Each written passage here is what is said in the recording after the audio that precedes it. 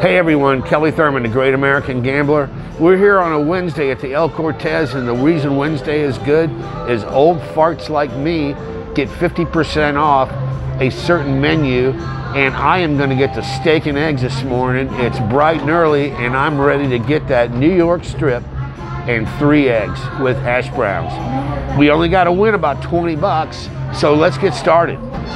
All right, you guys, I'm playing the same strategy. I'm playing the 12 all the way over to the 16 in the board. Any of those numbers win, I win. On the other side of the board, I'm playing the 7 to the 5. So that 5 spot, so if it goes to the wrong side of the board, I can still win. So let's get going. So we're going to start with uh, 5 here, 5 here, and then go to the 50 centers. Start spraying them around.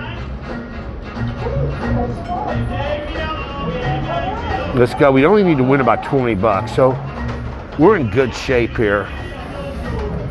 Should I go for the one hit? The one hit wonder? Here we go. Whoops, let's go to 17, 20. Okay, we got 23.50 out there.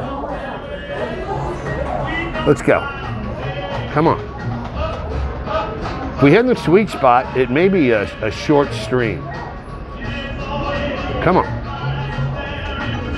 Right in there. There it is.